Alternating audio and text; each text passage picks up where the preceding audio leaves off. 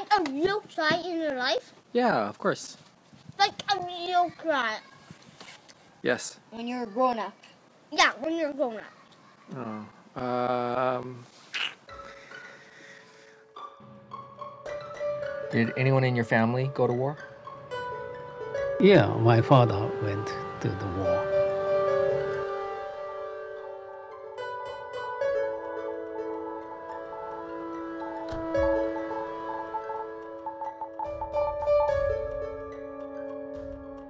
Oh, August 6th. That's uh, uh, the that's Hiroshima was attacked. I was 12 years old.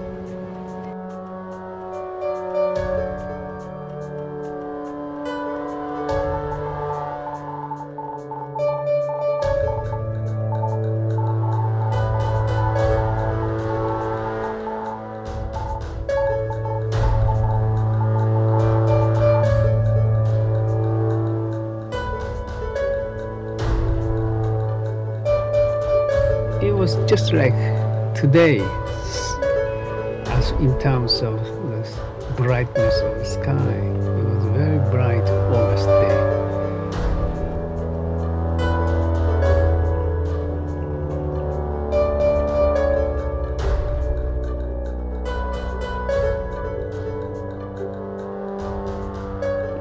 He decided to spend the rest of the night skating on Grouse Mountain one last time. Once we got there, we skated for a bit until the sun peeked over the mountains. That was the prettiest thing I ever. Welcome to my world.